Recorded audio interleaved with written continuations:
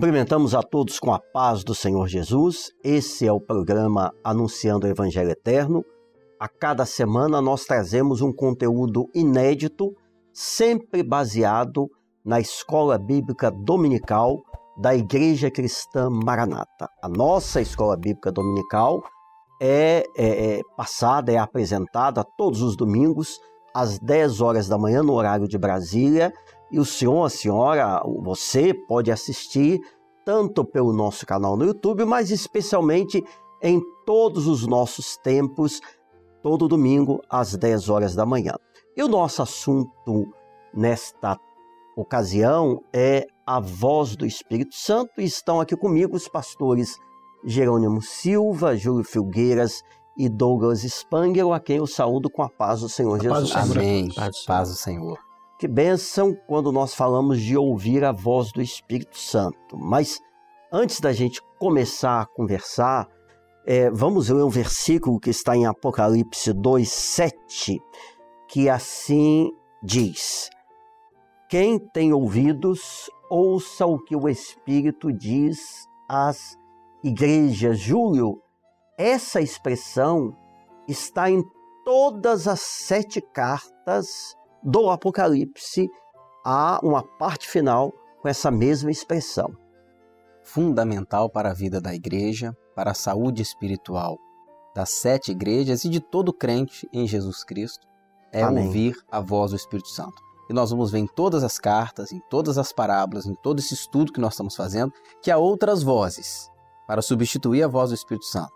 Jezabel, a doutrina de Balaão, dos Nicolaítas, mas a importância da igreja, que é fundamental, é ouvir a voz do Espírito Santo, que ele não mente, ele não erra o caminho, ele aponta para o Senhor Jesus, o caminho, a verdade e a vida, e leva o homem à eternidade, mostrando ao homem a revelação do projeto de Deus.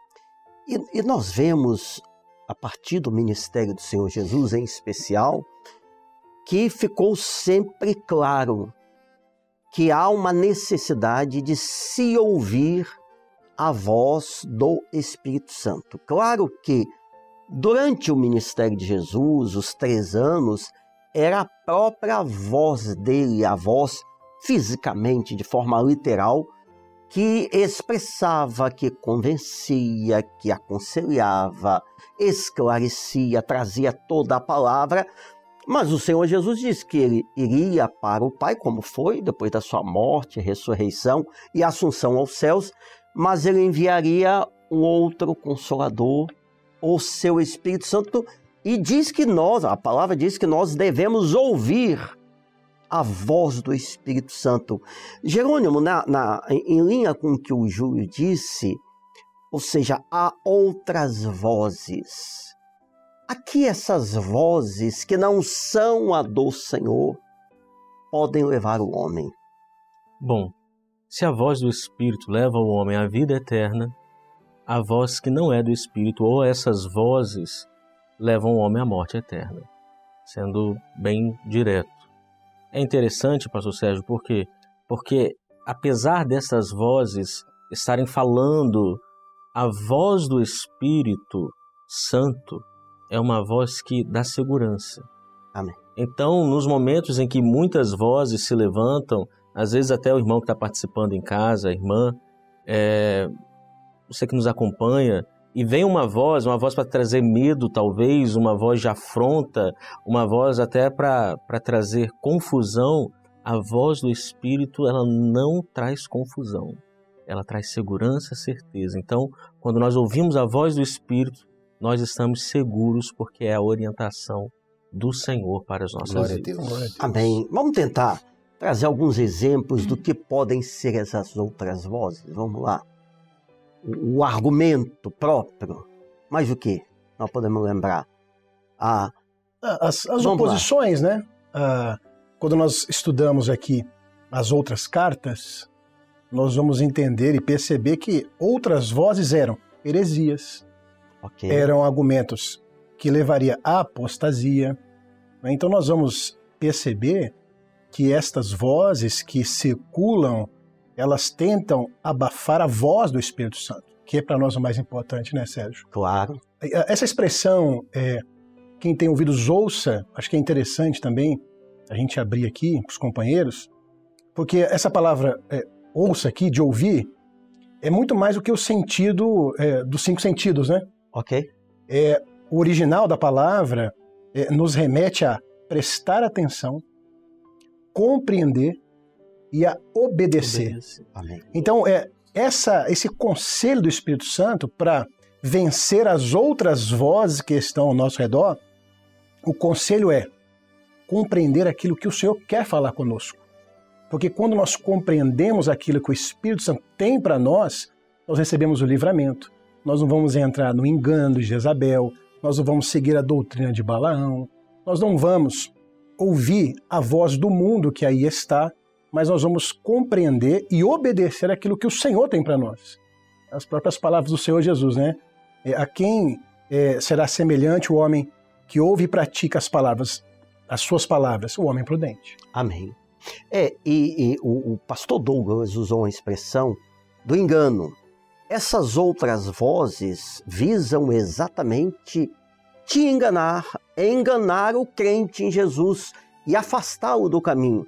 Essas outras vozes podem só, fechando aqui claro. essa parte, podem estar presentes num conselho de uma pessoa amiga, nos falsos profetas. Você abre, você pega aqui um, um, um, um telefone celular ou qualquer coisa parecida, você vai na internet, quantas vozes que vêm para trazer essa fraude espiritual. Ah, mas servir a Deus não precisa de tanta coisa, não é bem assim, tentando relativizar a fé, e aquilo que é justo, que é correto. Que é santo, né? Que é Puro. santo. Porque não existe, Jerônimo, uma terceira via. Um caminho mais ou menos. Ah, eu tenho o caminho da vida e o caminho da morte. Salvação e perdição. Não, mas tem um aqui que você pode misturar os dois. Não existe isso. Então, você precisa ouvir só a voz do Espírito Santo. Exato, porque a própria palavra diz: não é possível que uma, um reino dividido subsista. Ou seja, primeiro você só pode ouvir uma voz, que é a voz do Espírito. Se ouvir duas vozes, na verdade você não está ouvindo o Espírito Santo mais. Esse é o primeiro ponto. Segundo ponto, não é possível ter uma meia-verdade para fazer com que você transcenda. Não. O Espírito Santo é sim, sim, não, não. Amém.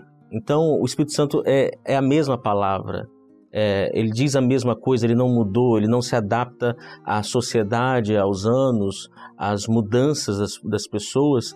E você vai, ah, não, agora o Espírito Santo estava tá ultrapassado, agora eu posso interpretar dessa forma. Vamos modernizar a Bíblia. Porque o contexto é outro. Não, é? Né? não, não é nada disso.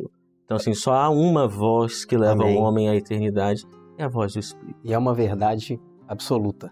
Glória a é, Deus. Jesus perguntou aos seus, por exemplo, quem dizem os homens que eu sou? Tinha várias opiniões. Uns dizem que tu és Jeremias, Isso mesmo. outros Elias, um dos profetas. Mas quando Pedro responde, tu és o Cristo, o Filho do Deus vivo, ele recebeu uma revelação de Deus. Então aquela era a voz do Espírito Santo, não era a voz de Pedro. Pedro só estava dizendo aquilo que ele recebeu de Deus. Ali estava uma verdade absoluta. Jesus era o Filho do Deus vivo, o Cristo. E, e o, o, o Júlio citou agora os profetas, que eram no Velho Testamento um instrumento nas mãos de Deus para que a voz do Senhor fosse manifesta e ele pudesse falar e governar o seu povo. Mas nós vemos no Velho Testamento as grandes oposições, isso se reflete nos nossos dias, em outra forma, mas no Velho Testamento, Douglas, as grandes oposições, os enfrentamentos que os profetas viveram, cujo objetivo era exatamente cessar a voz do Senhor ou levar uma voz que era enganosa. Fala um pouquinho desses, daquilo que aconteceu no Velho Testamento com o profético e com os profetas. Perfeitamente. Primeiro, pastor Sérgio aqueles que nos acompanham, que também os demais pastores, nós vemos o amor de Deus pela vida do homem, pela vida do seu povo, querendo que eles ouvissem a sua voz. Então, nós vemos que Deus vai preparando os profetas. Nós podemos falar aqui do profeta Elias, é um profeta muito conhecido, que foi perseguido, foi ameaçado por Jezabel, que já havia matado profetas do Senhor. Então, chegou ao ponto até de se esconder. Né? Chegou ao ponto de se esconder, temeu pela sua própria vida. Era profeta, mas era homem como nós, segundo é, sujeito às mesmas paixões, né? Mas nós vemos o profeta João Batista, né, que foi é, morto a mando de Herodes para satisfazer os caprichos né, ali da, da família. Né? Então nós vemos que em todo tempo Deus prepara os profetas para trazer a mensagem de salvação, mas o homem, a religião, a oposição, sempre quis calar os profetas. Porque Jeremias, sofredor, né? preso. preso. Né? Os profetas foram perseguidos. Né?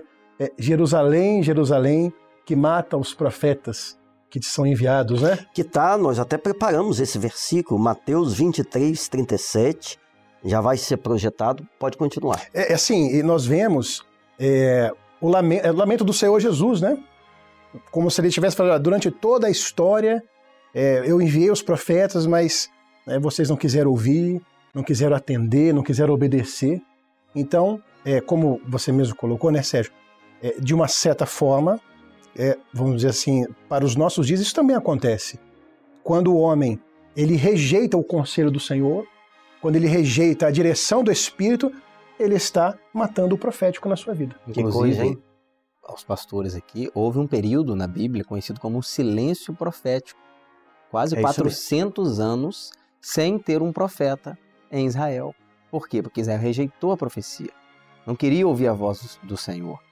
E o Senhor queria quebrar aquele silêncio. Então Deus chama um profeta, que foi o profeta João, conhecido, como, como, João, João Batista. Batista, porque ele batizava.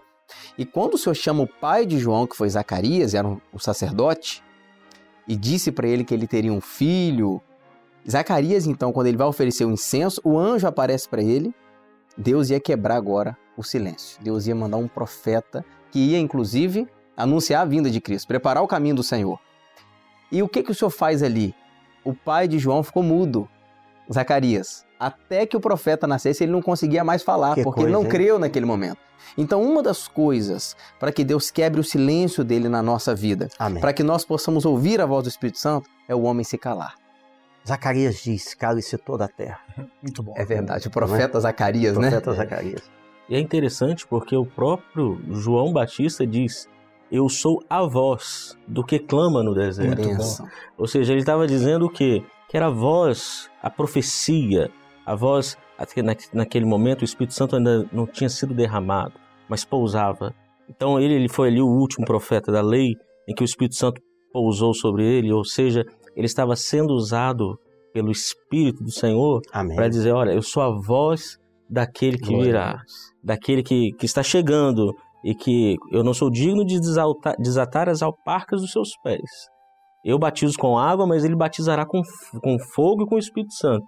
Ou seja, é esse mesmo Espírito Santo que está falando com o homem. Glória a Deus. É, e, e uma coisa que chama a atenção é porque João, conhecido como João Batista, a pregação dele veio acompanhada, o Júlio já citou, do batismo nas águas, que era o batismo, que é, na verdade, o batismo de arrependimento, uhum. da confissão dos pecados. Ou seja, só existe arrependimento verdadeiro e conversão se o homem dá lugar à voz do Espírito Santo na sua vida. Amém.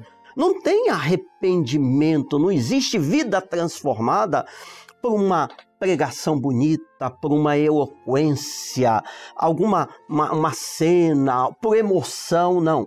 O arrependimento, a vida nova em Jesus, somente por uma operação do Espírito Santo. Inclusive, né, pastor Sérgio, porque a própria Bíblia diz que o Espírito Santo é aquele que convence o homem Amém. do Isso pecado, mesmo. da justiça e do juízo. Não é o argumento humano que nos convence. Nós não fomos convencidos por um discurso, mas fomos convencidos porque o Espírito Santo operou dentro da nossa vida, né? No nosso interior. Amém. Até porque aquele que se convence por um discurso humano, se chega um momento em que aquele que foi o objeto para convencê-lo o decepciona, nega a fé, ele tem um risco de ir junto. Né? Agora, quem tem uma experiência com o Espírito Santo, aí é diferente, né? Exato, e até porque, pastor Sérgio, as pessoas convencem com base em argumentos. Olha, o meu argumento é esse aqui. Você, aí você é convencido, aí vem um outro e traz um outro argumento para te convencer. Aí vem a dúvida. Qual, qual eu vou seguir? Mas o convencimento do Espírito Santo é diferente. Revelação. É revelação. Aleluia. Não é razão. Não vem de baixo para cima. Amém. Vem do alto para baixo. Vem da glória de Deus para a vida do homem. Glória a Deus. Amém. Aproveitando que você está falando, Jerônimo, João 3, 8, fala essas palavras foram ditas pelo Senhor Jesus naquele encontro com Nicodemos. Fala um pouquinho como é que se deu, como é que chegou a essa palavra do Senhor Jesus naquela conversa com Nicodemos. Como é que isso tudo se deu? Bom, Nicodemos ele chega até o Senhor Jesus e pergunta como faz para herdar o reino de Deus. Jesus responde a ele: Bom, Nicodemos, para entrar no reino de Deus é necessário que você nasça de novo. Nicodemos se assusta, podemos dizer assim talvez. Será que eu tenho que voltar para o ventre da minha mãe? Ele pergunta ao Senhor. E o Senhor Jesus diz: Não. O, aquilo que é da carne é carne. O que é nascido do Espírito é do Espírito. Ou seja, Jesus diz a Nicodemos que ele deve nascer de novo, não da carne, mas sim do Amém. Espírito. E Jesus completa dizendo: O vento sopra onde quer e ouves a sua voz, mas não sabes de onde vem, nem para onde vai. Assim é todo aquele que é nascido do Espírito. O que coisa, né? O próprio Nicodemos, quando ele vem, né, pastor Jerônimo e os pastores, conversar com o Senhor Jesus, ele vem na razão. Tanto que a primeira expressão que ele usa, ele fala assim, ele fala, se refere ao Senhor Jesus. Bom mestre, bem sabemos que ninguém faz as coisas que tu fazes se não vier de Deus. Ou seja, nós bem sabemos, nós já conversamos a respeito do Senhor. Nós já temos conclusões a respeito do Senhor Jesus, mas eram racionais. Então ali tinha um homem na razão conversando com o Senhor Jesus que estava na revelação. Jesus então começa a falar um monte de coisas espirituais que ele não entende nada ah, sobre o novo nascimento. Aí ele fala, mas como pode Nascer ser da água Nascer também, da né? água e do espírito. espírito. E ele, mas como posso voltar para o ventre da minha mãe? Você quer saber o que é nascer do espírito? Aí Jesus fala: o vento assopra onde quer, ouves a sua voz, mas não sabe de, Aí depois ele fala assim: assim como Moisés, como a serpente, Moisés levantou a serpente no deserto, assim o filho do homem será levantado. Quanto mais o Senhor Jesus falava, menos Nicodemos entendia, porque ele estava na razão, ele não estava na, na revelação. Jesus ainda usa o versículo, aquele texto muito conhecido, João 3,16, não é? Deus, 3, que Deus amou o mundo de, de tal, maneira, maneira que, que deu seu Filho unigênito. Ou seja, porque ninguém subiu ao céu senão aquele que desceu do céu, que também está no céu. Jesus fala de coisas espirituais. No, e aí Nicodemos então muda o discurso dele. Ao invés dele, no, no início ele estava, nós bem sabemos. E agora ele muda, ele começa a dizer, mas como pode ser isso? Ele entende que ele não sabia nada, porque ele estava na razão. É, pode. pode não, não, interessante é que Jesus fala assim para ele: Tu és mestre em Israel e não sabes disso? Ou seja, é, o conhecimento daquilo que é eterno, daquilo que é profético, é, não basta pelo conhecimento intelectual. Okay. É necessário conhecer a Jesus revelado. Amém. E ele quer se revelar a todos que buscarem a sua face e também se revelar àqueles que participam conosco aqui, né, Sérgio? Amém. É, não adianta conhecer um Jesus teórico. É necessário ter um encontro verdadeiro com Ele. Até porque, como está aqui na palavra, quem é nascido do Espírito é levado pelo Senhor. Não mais vivo eu, mas, mas Cristo, Cristo vive em mim. Vive Aleluia. em mim. Ou seja, não é o que eu acho, não é o que o pastor, a, a pessoa poderosa, culta, não. Mas é uma direção, é a revelação do Espírito Santo. Então nós estamos graças a Deus e pela misericórdia dele, nós estamos dominados pelo Espírito Santo e temos que deixá-lo nos guiar, nos dirigir e a revelação dele prevalecer. Glória a Deus. Eu, eu, eu me recordo, nós estamos falando aqui muita experiência, transformação de vida. Uma vez uma pessoa disse assim: é, Pastor, me prova que Deus existe, me prova os dons como é que o senhor me prova isso? Eu falei, eu te provar? Eu não tenho como te provar. Eu te convencer? Agora vamos fazer uma coisa, vamos fazer um teste. Durante uma semana, você vem aos cultos, mas vem sem reserva, sem restrição, e vê o que vai acontecer. Em três dias, aquele jovem disse assim, chorando: Agora eu estou totalmente convencido. Glória eu não tenho dúvida. Mas o que aconteceu? Não, ele falou comigo. Glória a Deus. Maravilha. Meu coração agora é cheio dele. Glória a Deus. É, é, é só isso que o homem precisa. Exatamente. É interessante nessa expressão, o vento assopra onde quer.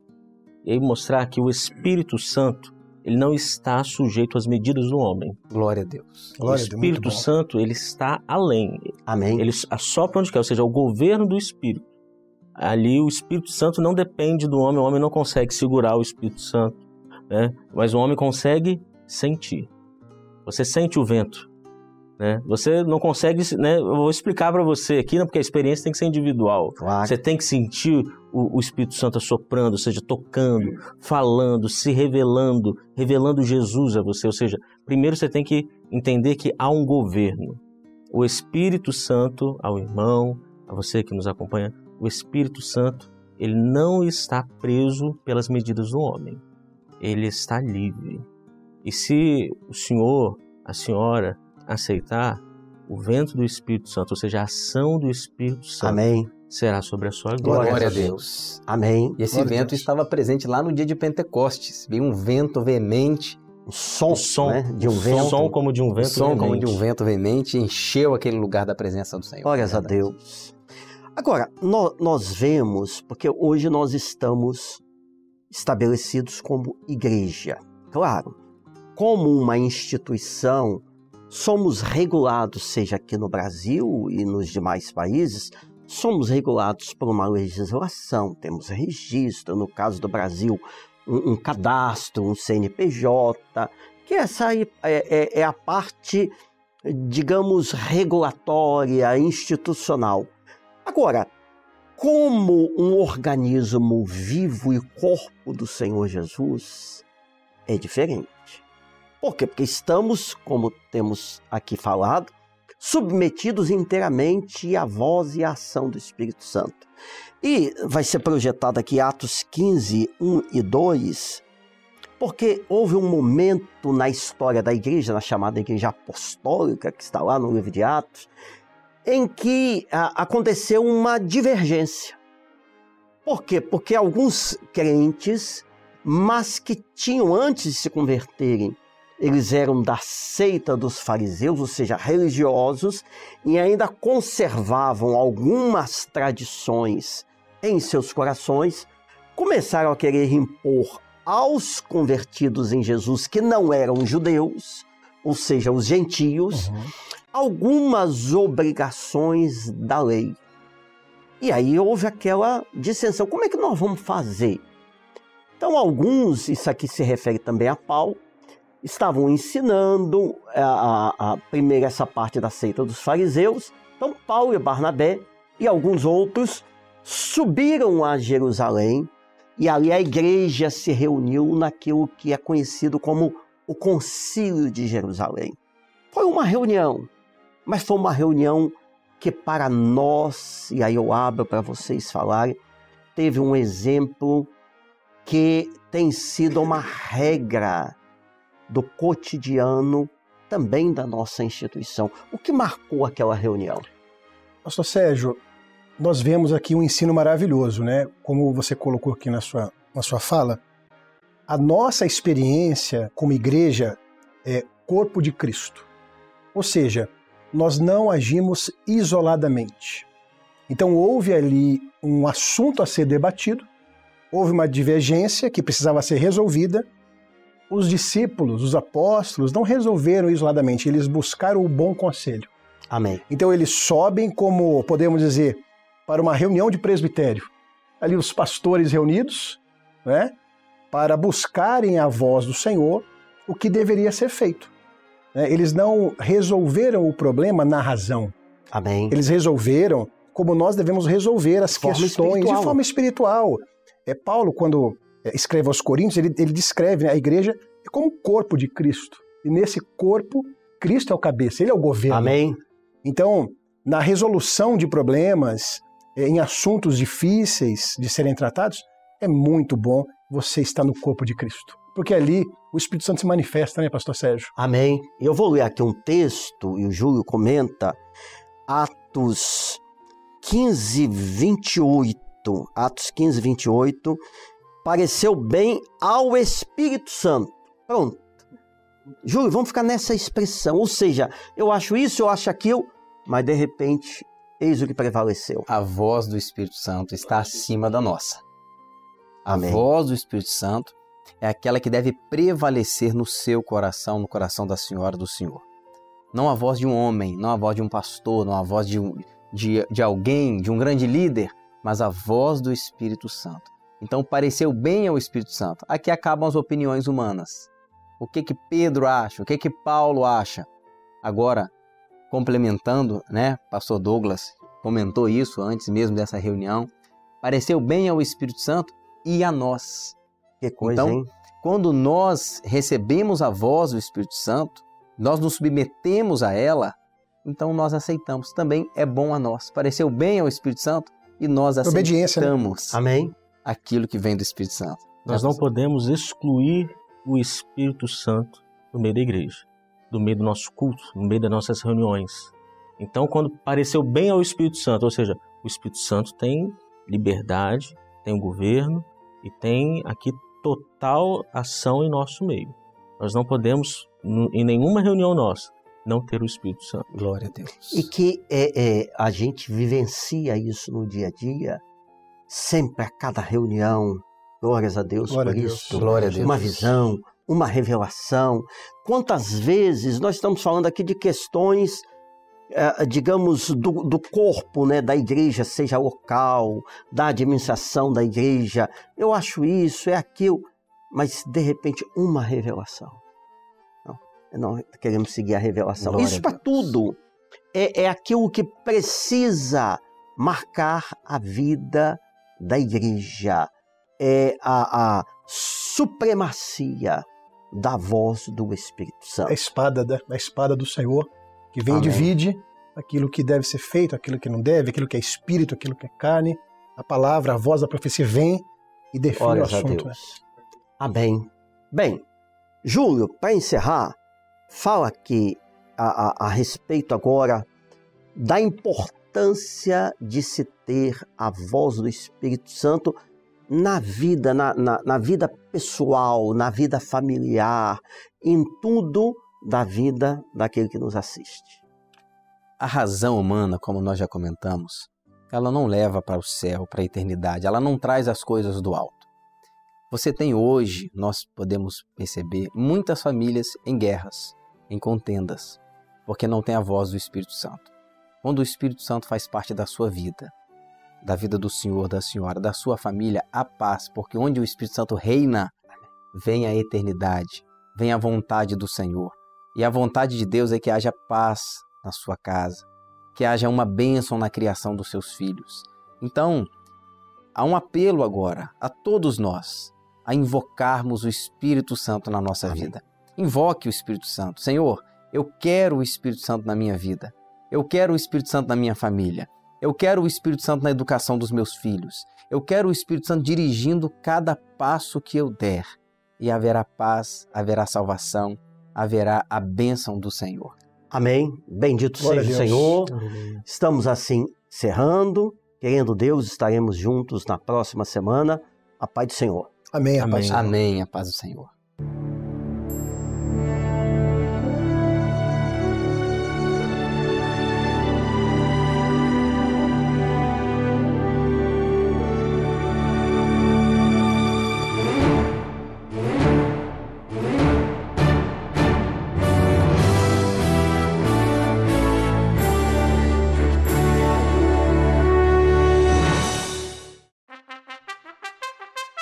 Thank you.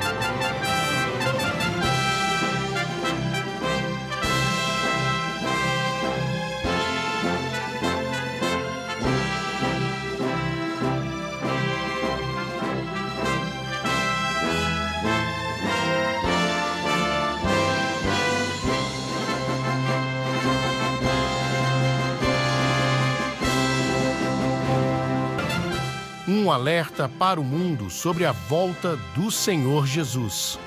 Trombetas e Festas 2024. Domingo, 1 de dezembro, às 11 horas da manhã, em uma igreja cristã maranata mais próxima de você. Maranata, o Senhor Jesus vem.